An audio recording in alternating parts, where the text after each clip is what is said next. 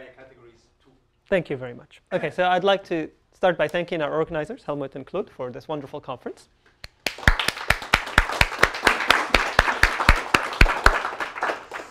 Okay, and the next thing I will say is that, you know, since I managed to weed out most of the audience, now we can do examples. So um, the simplest example is in dimension one. So let's discuss dimension. Uh, well, over R is equal to 2. OK, so uh, we're going to let X be an open Riemann surface.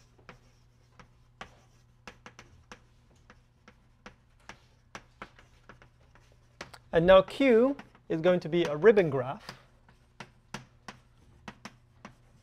This, you know, that, uh, you know, that is a skeleton, so, so as a skeleton of X. So what is a ribbon graph? Well, the ribbon graph is just the graph with the data. Um, so graph plus cyclic ordering of all the edges which, is, which are adjacent to a given vertex.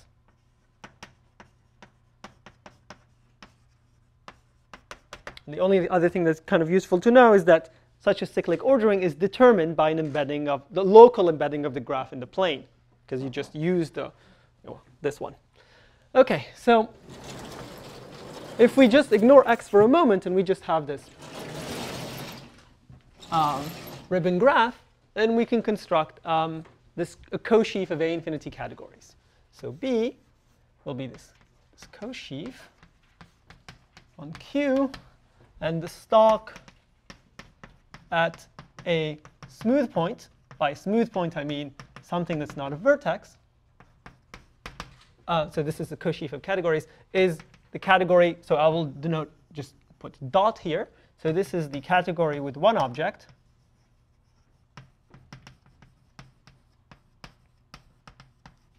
and uh, the endomorphism algebra of this object. Um, so morphisms. There's only one morphism, well, up to scalar multiplication, which is k times the identity. That's my ground field. So, OK, that's a bit too easy. What happens at the vertices? Well, I have a vertex. Let me just draw locally. Something like this. Okay, and I have my cyclic ordering. So now it's associated each one of these edges, I have a, this category here. So let's think of that as a dot. And we have one, two, three, four, five. Two, four, five. And I'm going to order them along the cyclic ordering. Okay. Now the category associated to this vertex will be, well, not this disjoint union, but rather they're going to be connected. It's going to be one morphism from here to here, one morphism from here to here, and because everything is cyclically symmetric, there's also one morphism from here to here. Okay, so this is some sort of um, a so a kind of valency minus valency plus one or minus one. Let's see, I have to think. Uh, minus one category. Okay. Uh, oh, and there is one more piece of information, which is that this category is an A infinity category, so I have to tell you multiplication, I have to tell you higher products. Actually, multiplication is extremely easy. Well, especially in this case. All products are zero, okay, except for things that cannot be zero, which is multiplication by the identity. And higher products, well, they're, again, all zero except for one. That's non-zero. And that one is the higher product where you go around the, um, the cycle. So m, in this case, m5, let's just give them names, x1, x2, x3, x4, x5, x1 through x5 is equal to, well, I, I go around, and then I end up with a morphism from this first guy to itself. It's equal to the identity, identity of this first guy. And the same thing is true if you cyclically rotate. OK, so this is the co-sheaf of categories, a co-sheaf of categories, and the point is that this is the co-sheaf that you would get if you applied the construction from last time. So, so B is the result of yesterday's construction. And the, geom the geometry behind it, of course, is that you know you have these foliations, and I will only use one color today. Well, maybe later I'll use more than that, but you have these foliations on each edges, and over here you have. Okay, maybe I'll use more than one color. Why not? Let's have fun.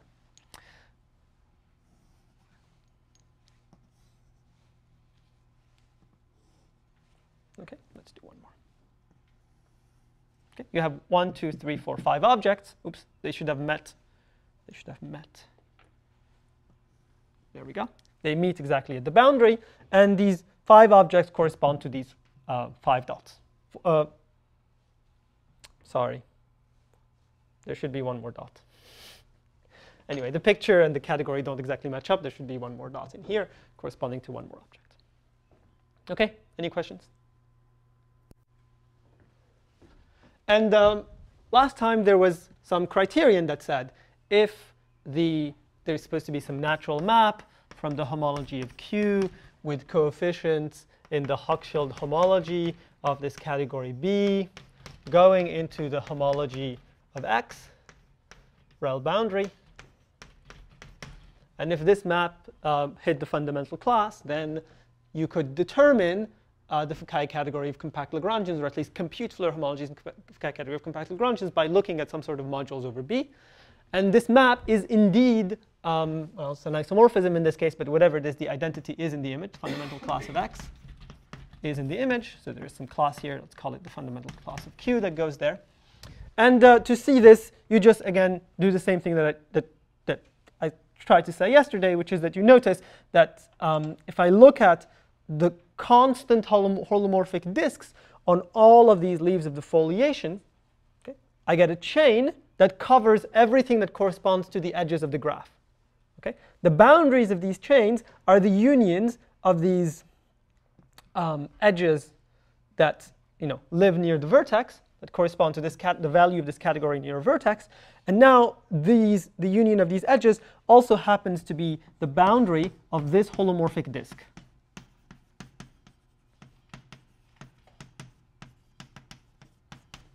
Okay, so the space is covered by holomorphic disks and leaves. That's the intuition. And because the space of cover is covered by holomorphic disks and leaves, no compact Lagrangian can escape the eye of this category. It sees everything. OK? So, um, so we have kind of another description of the Fukaya category of curves if we needed one. I mean, I guess Denis gave, uh, gave a different version of a description of Fukaya category of curves, although he focused on punctured spheres. OK. So now I want to talk about what would happen in higher dimensional examples. And unfortunately, um, at this stage, I can only um, x uh, unfortunately, at this stage, I can only kind of talk about a few examples that I understand. I'm really kind of optimistic that this will work in more generality. So let's, let's do the baby case. So the baby case is going to be, OK, let me say with the baby baby case. The baby case is Q is smooth, compact smooth manifold.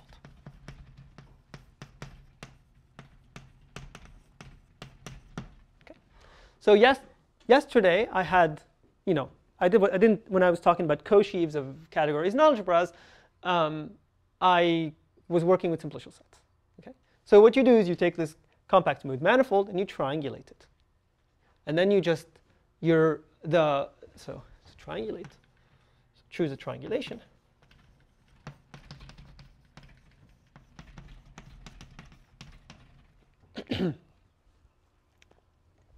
and then you obtain essentially a constant co-sheaf B, uh, whose stalk is is well um, exactly just this category with one object. So there's nothing going on here. Is category with one object.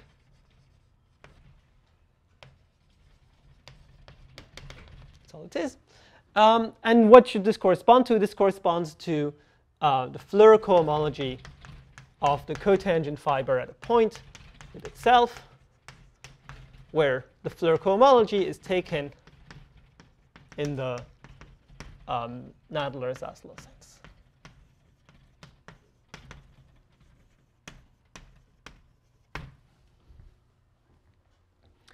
And you know, if you needed yet, I mean, somehow the this uh, the, this uh, this gives you another proof.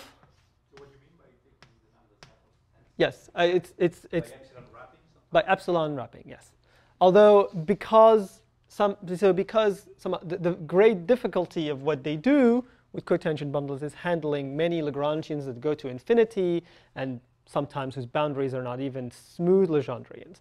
Here, you don't even, I mean, I'm only going to ever, you know, note, all, they're all orthogonal to each other anyway. All cotangent fibers. Pardon? Unless they Unless they're equal. And when they're equal, you can just compute their, define their Floer cohomology using some sort of Morse function that grows at infinity. So it, there's kind of no technical difficulties here.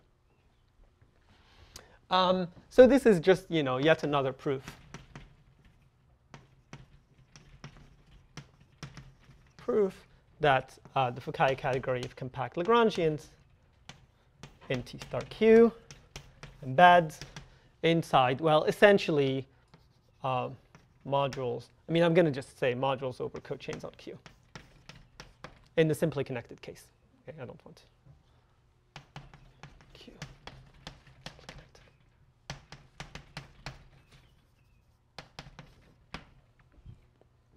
And this, uh, this also, I mean, if you just interpret this thing, if you go through the construction that I gave yesterday, you'll see that um, you know, it's going to work even things are not simply connected, but it's, it's a bit harder to just identify it with. It's, it's not any more modules over cochains on Q. So it's, it's just another statement of what we already know about cotangent bundles. OK, so now let's do something slightly more interesting. And it's going to be some sort of fiber product of this here and uh, what, ha- what we did in dimension one. OK?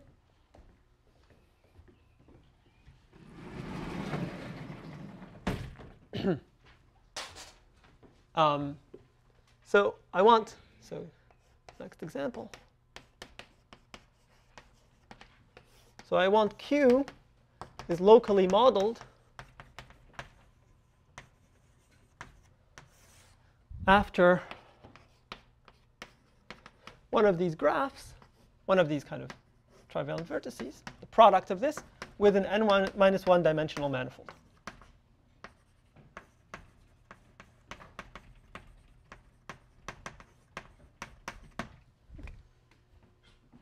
You can state this um, more precisely if you want. For example, you can say that there exists some collection Qi, which are compact smooth manifolds with boundary.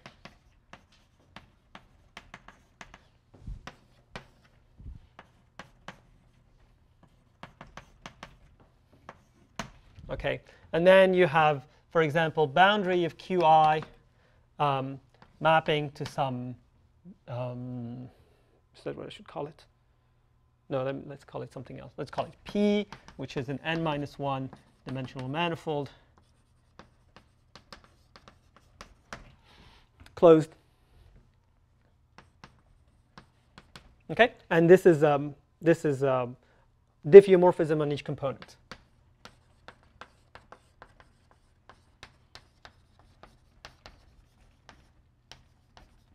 That is, I could have several components in the source that map to the same thing in, in the target. And now I can just take the union of Qi modulo this equivalence relation, where, this, where somehow equivalence relation identifies points in boundary Qi with the same image in P.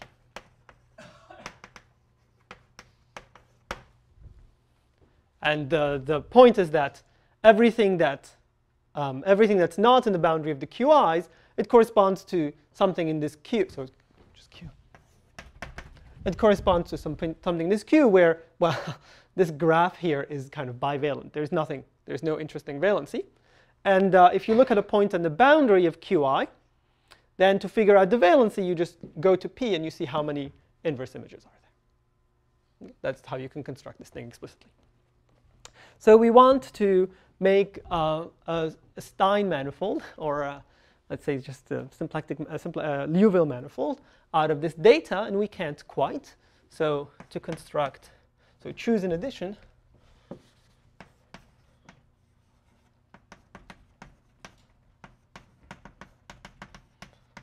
a locally constant uh, cyclic ordering of the inverse images of points in P. Okay? If I take a point in P, it's going to have inverse images in the boundaries of all the QIs, so that's a collection of points. I'd like to have a cyclic ordering of those. And once I have a cyclic, and I moreover would like the cyclic ordering not to change when I move around P.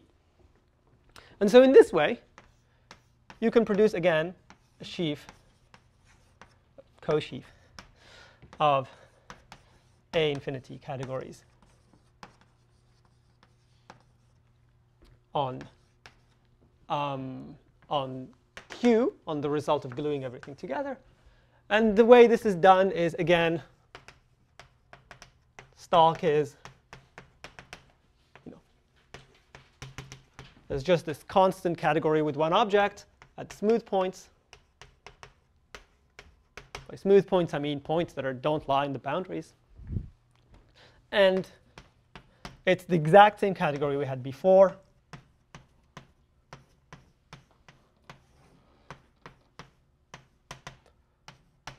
Uh, this category with one, this is mk is equal to the identity. That's the relation uh, at the singular point.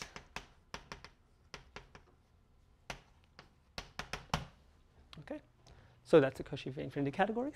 And now we would like to have a, a, a, symplectic manifold whose whose Fukaya category is whose is related to this, and uh, that symplectic manifold is easy to construct. What you do is you start with the cotangent, so let x equal take the cotangent bundles of qi, okay, and then that's a manifold boundary. And then you take the cotangent uh, bundle of P, okay, and you cross, well, this is going to be a bad picture because it depends on the number of inverse images. The, the P is possibly disconnected, so, but let's just, just draw a picture. Uh, this, um,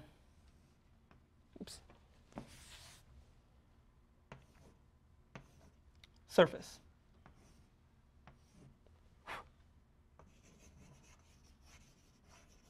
Okay, that's my surface. I take the union of these. Union over all i, thank you. Union over all, all i of all these of all these cotangent bundles. And now, sorry, maybe here I should have been a bit careful. The map, it doesn't go from it goes from the union of the boundary of qi to p. Okay? Because different components in qi could map, could you know, want to be able to glue them together.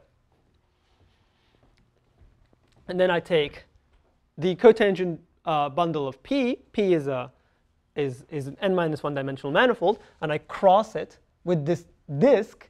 But I think of the disk in this very specific way. Okay, and again, here there's a little bit of ambiguity because it's not, you know, how I think about the disk depends about uh, depends on the components of P. Because again, different components of P have different numbers of inverse images in here. Okay. And then I, I mod out by an equivalence relation. I glue them together. And how do I glue them together? Well, essentially, you know, if I look at, I mean, I'm just going to draw a picture. I glue them together over here, and here, here, here, here. Okay? Because if I look at the cotangent bundle of qi, and I look at it in the neighborhood in the boundary of the boundary of qi, it just looks like the cotangent bundle of the boundary cross with um, you know, this strip. And then you can just identify the two together.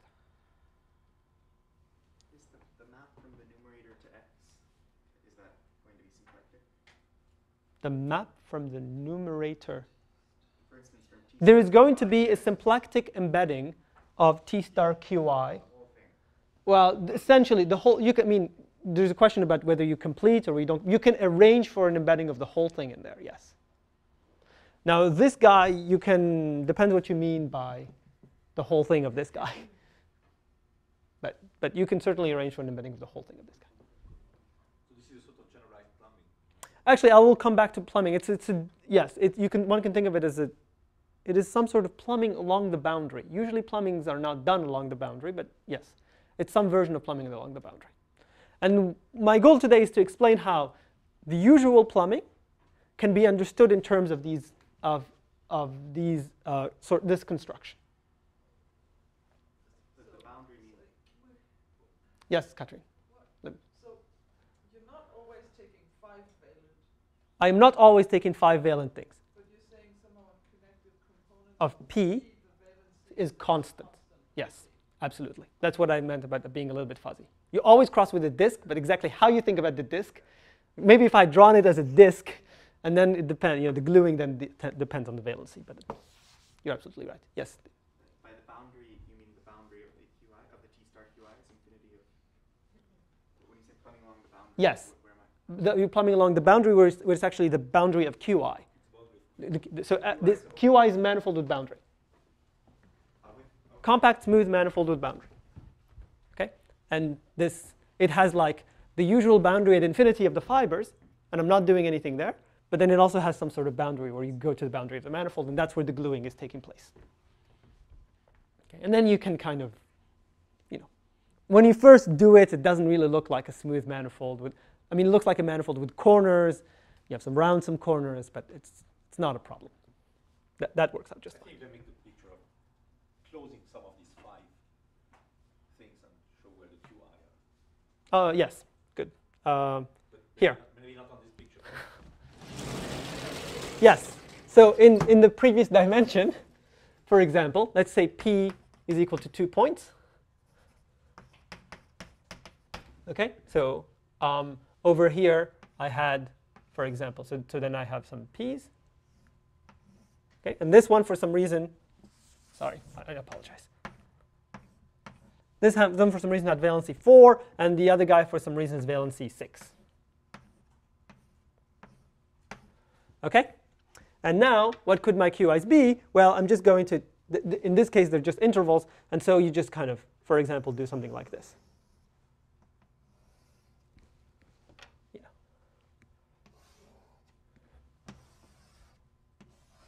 And then fatten everything up.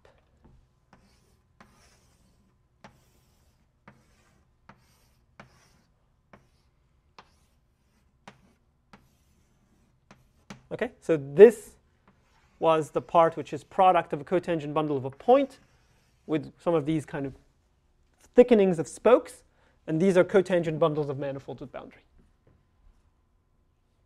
And that's the picture.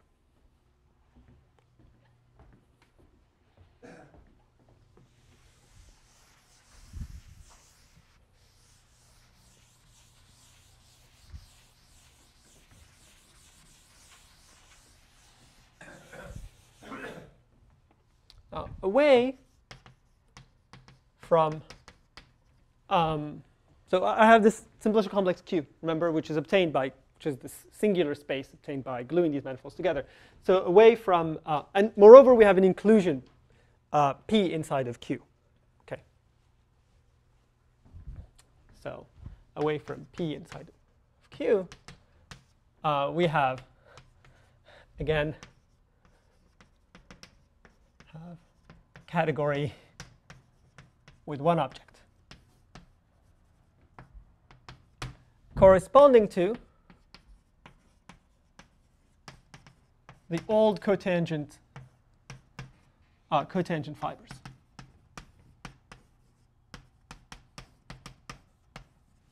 Okay, this gluing here it takes place at the boundary of QI, the part of it yeah, anyway, it's part over the boundary of QI. So if you if you don't lie on the boundary, then the fiber at such a point survives this gluing. Just see where it So goes. Q now is the union of the QI plus the, the five, uh, the, the No, five so star, so uh, so you yes. So the way I think of this is Q is the union of the QI modulo an equivalence relation. But you could think it is topologically the same as the union of the QI plus the stars cross P. It is just topologically the same. And it's, yeah. But the key observation is that if we're sufficiently close to P,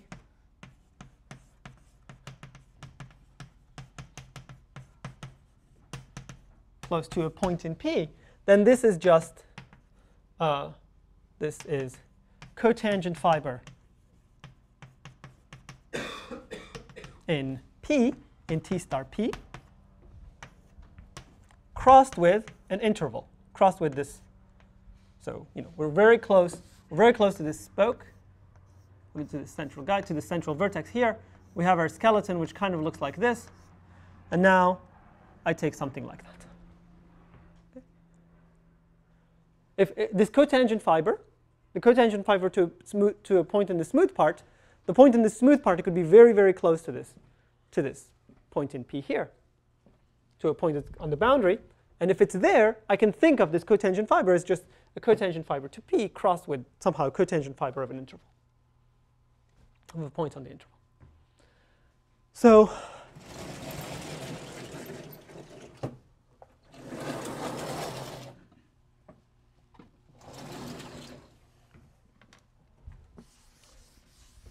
So to keep constructing our co-sheaf of A infinity categories, so, so given a point in P, so what we want, we, so we take, so let's call it P in P. So we take T star P at P, that's the cotangent fiber, crossed with this collection of Lagrangians.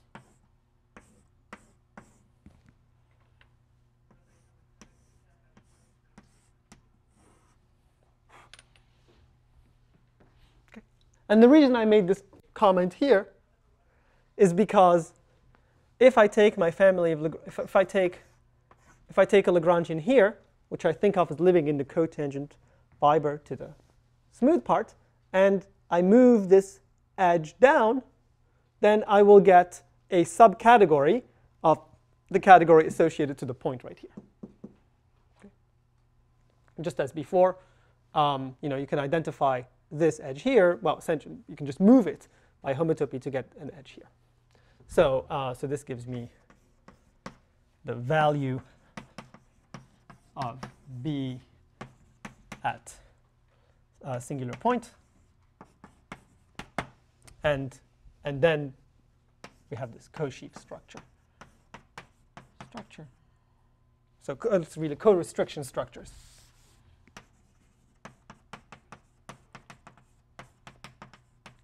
from smooth part to singular part.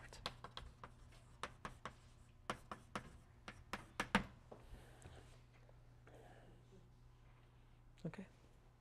So what is particularly convenient about this picture is that locally everything is a product. And not only is locally everything is a product, locally everything is a product of extremely simple things. Whenever two things meet, they're always of the form same guy, same cotangent fiber here, cross some edges in the plane. Okay? So unlike other situations where it's hard to pass from something happening on a symplectic manifold to something happening to its product and to control and controlling holomorphic disks, here you just kind of project. You see that there is indeed um, a non-trivial holomorphic disk that survives. That's what allows you to say what the you again compute what the A infinity category associated to P is. It's the same as what we had before. And a priori, you, it's hard to know that there aren't any other disks, but there's a deformation theory, Hochschild, well, anyway, there's a Hochschild cohomology argument that says that you don't need to check whether there's any more disks. So let me just write that down. So by projecting locally, so we compute that the stalk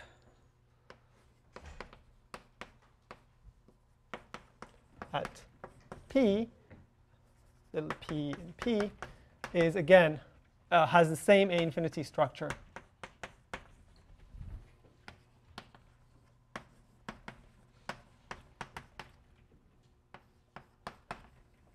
as in the one-dimensional case.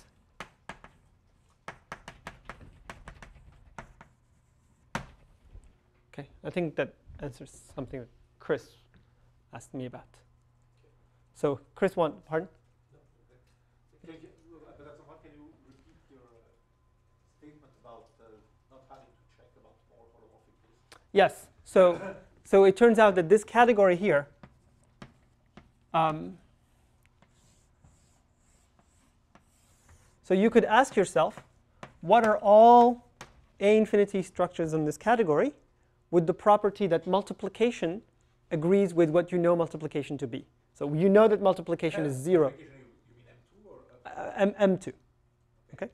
And there's a Hochschild cohomology computation which says that up to A infinity equivalents, such categories are determined by whether or not this, exactly, the first one that goes all the way around, whether that's non-zero or not.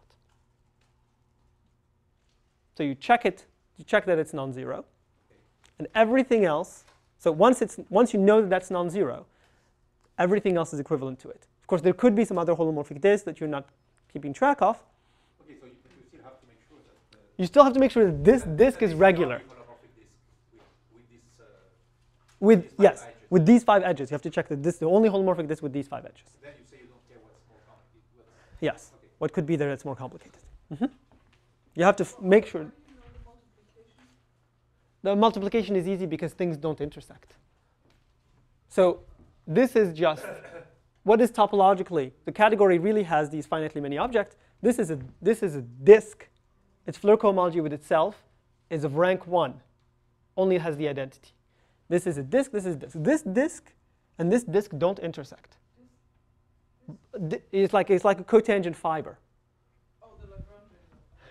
It's this cotangent fiber in P cross one of these edges. So topologically, it's just, I don't know, maybe we shouldn't call it disk, it's a ball, n-dimensional ball. Are you saying that it's totally This guy doesn't intersect this guy. So their homology is zero. So their Floer homology is zero, so the composition is zero. And that, of course, survives when I take the product of the same fiber.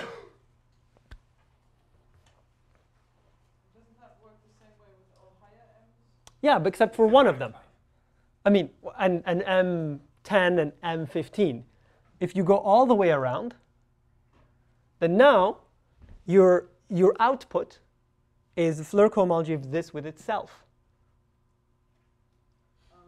So take the, take the higher product of this doop, back here. That could a priori be non-zero. It is non-zero. That's what you get out of this.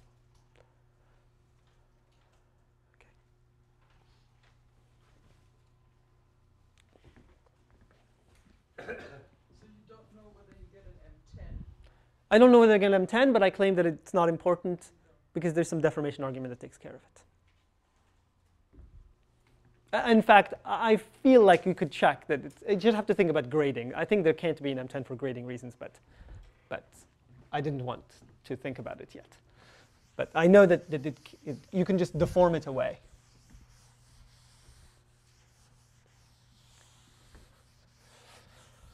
Okay. So um, great. So whoa, do, do, do, do, do. okay. So um, now I claim that this kind of uh, construction, which I don't know what to call them. I want to call them kind of whatever. They're like they're, they're like yes, exactly. They're plumbings along boundaries of cotangent bundles. That's what they kind of look like, um, generalized in some sense.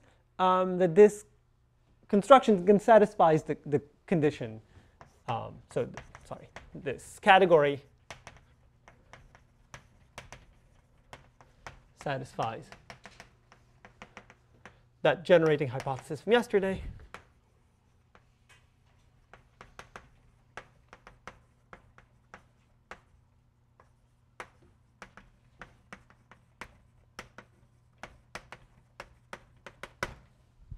So once again, uh, if you care about compact Lagrangians in these spaces, what you know, you can compute Floer cohomologies of compact Lagrangians by associating to them sheaves, modules over this, this co-sheaf of categories, and then computing. I said last time I said Tor, and in general I don't know how to make it Ext, but for these examples you can make it Ext of bimodule of, of modules.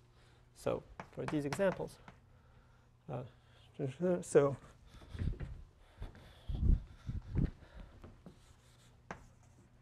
compute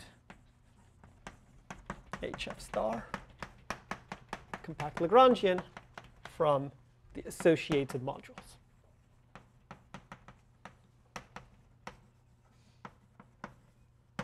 So just somehow wanted to say these things exist. Now, next thing I want to say is explain that this is not that unfamiliar a construction. So next thing I want to explain is that every, you know, plumbing in the classical sense of cotangent admits such a skeleton.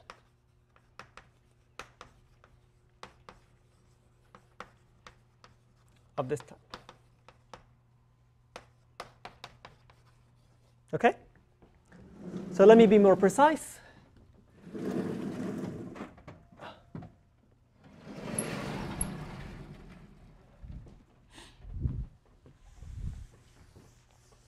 So now, uh, unfortunately, slight change of notation.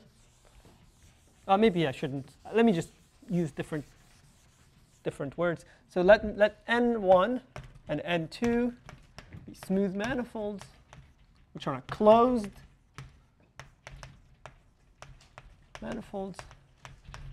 And let me choose B, which embeds inside both of these. Okay? Oh, this is not a good choice. I'm sorry. Oh, okay, fine. We'll, we'll live. Um, with isomorphic normal bundles. So, so embeddings with isomorphic normal bundles. Okay? So the point is that let's write this normal bundle V. So the point is that a neighbor, so if I look at, sorry, here's N1, here's B. Okay? If I look at uh, a neighborhood of B, okay, and I look at everything in N, in T, this is T star N1. Okay? If I look at everything in T star N1 that looks, that lives above this neighborhood of B, then that looks like, so this topologically is going to be, actually in fact symplectically, it's going to be BC cross over B with T star B. So this is a neighborhood of B in T star and I. Okay? The reason, so this is, the, this is like two copies of V. V is the normal bundle. Uh, and one of them corresponds to the copy in this direction, and the other one corresponds to the copy in this direction. Okay? But this thing has an involution, which is you multiply this by i. Okay? You switch what you think of as being imaginary or real. Alternatively, you switch what is being horizontal and vertical. So what you can do is you can glue t star n1 and t star n2 along this guy.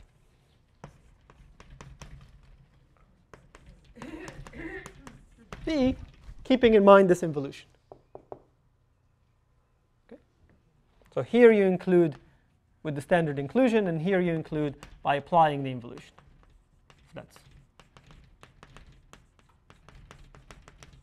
and this space has a name, and I will call it just T star. Well, first of all, its name is the name is the, the plumbing of the two cotangent bundles along B, and I'll just write it like that. Okay, so the simplest picture we've already seen. Uh, it's in dimension one, and it's just a slightly different way of thinking about Riemann surfaces. You know, this is T star R, and you know, here's another copy of T star R. Okay, and then we're going to glue them together along this square, and really this square is my VC in this case. But you could do this, you know, the way I set this up, you can do this along any submanifold. B doesn't have to be connected. N1, N2 don't have to be connected. You can get whatever, you know. You can get many things this way. Okay. So um, the simplest thing one would hope for is that the machine I described yesterday would just apply directly to this. Okay? This has a nice skeleton, and you can just you know, try to see whether you can find a family of Lagrangians parametrized by it. And the problem is it doesn't directly work. Okay? So problem. So if the dimension of ni, actually it's really if, if the codimension of b, write it correctly, the codimension of b is uh, greater than 1, then no nice family family of Lagrangians in this plumbing to parametrize. Of course, I'm not saying there aren't any Lagrangians. I'm saying there are none that satisfy the hypotheses that I was assuming yesterday. That's what nice means. By uh, n1 union along B with n2. And the reason is essentially local. I mean, you, the, pr the, problem is entirely local. So let's just do um, n1 is equal to r2 is equal to n2. B is a point. The origin. Okay? I won't draw n2. I'll just draw n1. Looks like this. And here's the origin. And now, I mean, it's clear what should happen away from this point. Okay? We should have the family of cotangent fibers. Okay, so over here we have the cotangent fiber at this point in, in N1. Um, okay,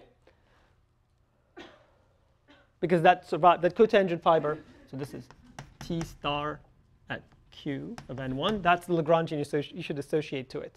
And then um, that varies very nicely away from the origin. But the key, one of the key properties that I had yesterday that I needed to assume was that when you, know, when you took a cell, simplex of your, of, your, of your simplicial complex, that the choice of Lagrangians kind of made sense at the boundary as well. Okay? I always said everything is a closed cell. We have a family of Lagrangian parameters of a closed cell. We can restrict it to the boundary, and then some, some properties are supposed to be satisfied. Well, here, there's no way of extending this choice all the way to this point. The natural choice of cotangent fibers doesn't extend over here. The cotangent fiber at this point has been removed and replaced by the zero section of N2. So you can't, you just can't apply this. Uh, so the idea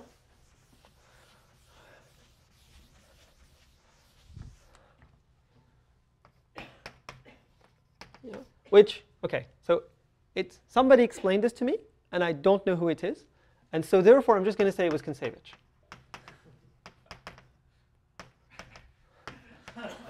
Okay. the initial object of the category of ideas. well, you know, I remember the conference, and he was there, and talked about related things, so it sounds reasonable. Okay, so the idea is that this, this space has another plumbing, has another, I'm sorry, has another skeleton. This plumbing has another skeleton. Okay? And you can already see this in dimension 1. So in dimension 1, you replace this picture by the following thing. First, you smooth this intersection a little bit, and you get this picture. Okay? But that has the wrong topology. Or rather, somehow, you know, a neighborhood of this has the wrong topology.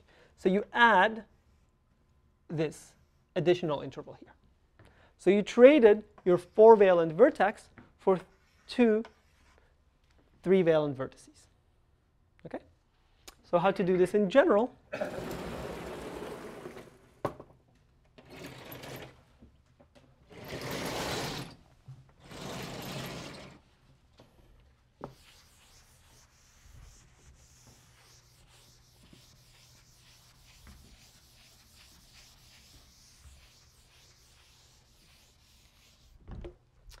Um, so just in general, well, you just, um, well, I'll just say the, the, the plumbing has a skeleton.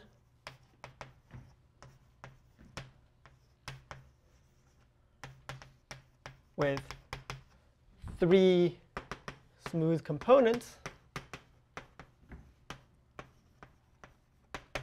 which are the following thing. they are Q1 minus a neighborhood of B. Open neighborhood of B. Okay. It's bound, the, the, the boundary of this open neighborhood is going to be some sort of sphere bundle over B. Okay? Pardon? And one there is, is Q. Is Q one and one. Um, thank you. N1. So that's one piece. The other piece is the same thing with N2.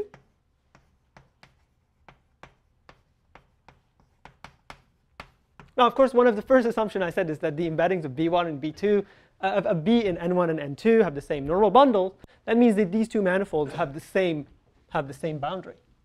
Okay? But there's another manifold that has the same boundary, which is the disk bundle bundle of V. V is the normal bundle. Anyway, let me just write the words of normal bundle of B. So these are three manifolds with boundary, and they have the same boundary. And I kind of not really started this talk, but somehow the half, the middle part of this talk was about saying that if you have this configure this situation, and if you have an ordering of these, and you just order them like this. Okay, so this is ordering, cyclic ordering. Then you obtain, well, first of all, first of all, you obtain a s- um, space just by gluing these together. It's going to be locally just trivalent cross manifold. Going to look like a trivalent vertex cross manifold. Um, and the cyclic ordering equips it with a uh, co-sheaf of A infinity categories, which is exactly the same one we were talking about this whole time. Okay, so that's that was just the explanation that you can do this in higher dimensions, and you get a different uh, skeleton for the plumbing. And once you have this different uh, skeleton for the plumbing, um, you can just yeah. you claim that this is symplectomorphic to the plumbing? Yes, this is symplectomorphic to the plumbing, and you can see this local. Uh, you can see this locally. You just so you just have to see this in um, in in So it's essentially this picture is the plane. absolutely in one higher dimension in and in all higher dimensions.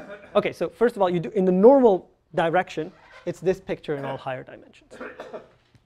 Uh, so you replace what? So let me just let me just say a few words about what this picture means in higher dimensions.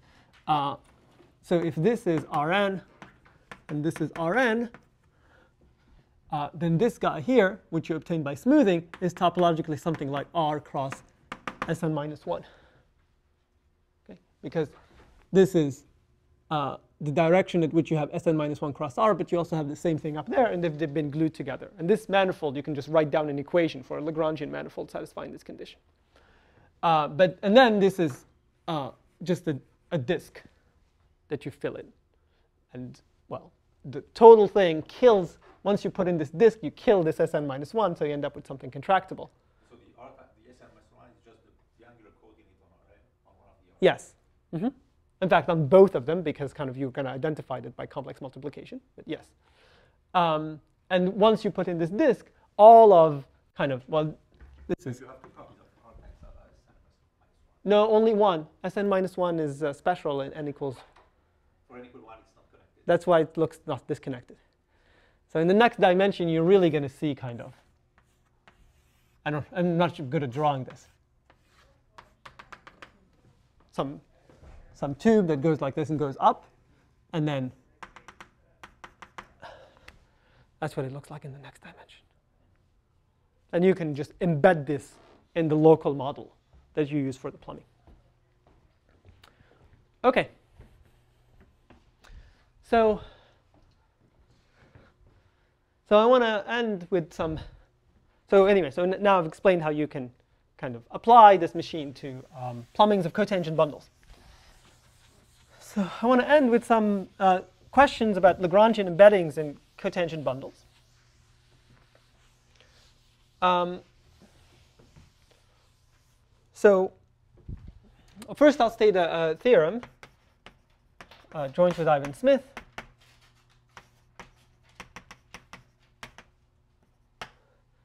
Uh, which is about very special situation, which is uh, you know, let n1 equal n2 equal, say, a sphere, and let n be greater than 2. And let B be a point. OK? The theorem says in, so this, by the way, the space that you get by this plumbing is called the A2 Milnor space. Okay? But anyway, we don't need to know this. So in T star Sn, glued along point with T star Sn, all exact Lagrangians, closed exact Lagrangians. Lagrangians of Maslov index 0 are equivalent in the Fukaya category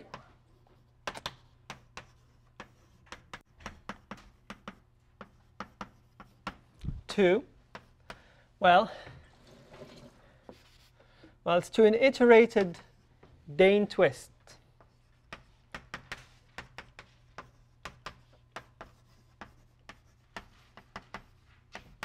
Dehn twist of, let's say, n1. Okay, let me explain the statement. So What,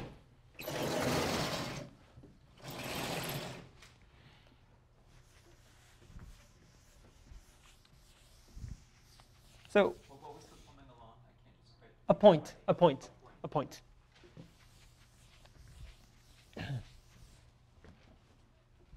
So inside this plumbing, you have the old zero sections, n1 and n2. And if people are familiar, this, this is the one-dimensional picture. Now, in the one-dimensional picture, you can take the circle and you can do Dehn twist about the other circle. And you get another Lagrange. And it'll also be exact, and it will also have the same Maslov index. the same thing happens for spheres.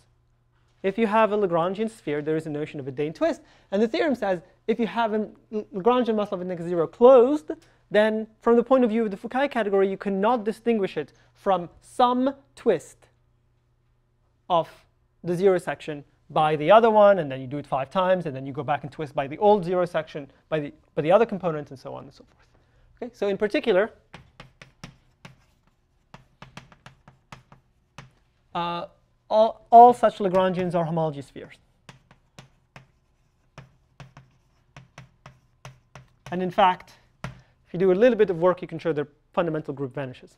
But don't really, I mean not go there because that's not what I want to ask.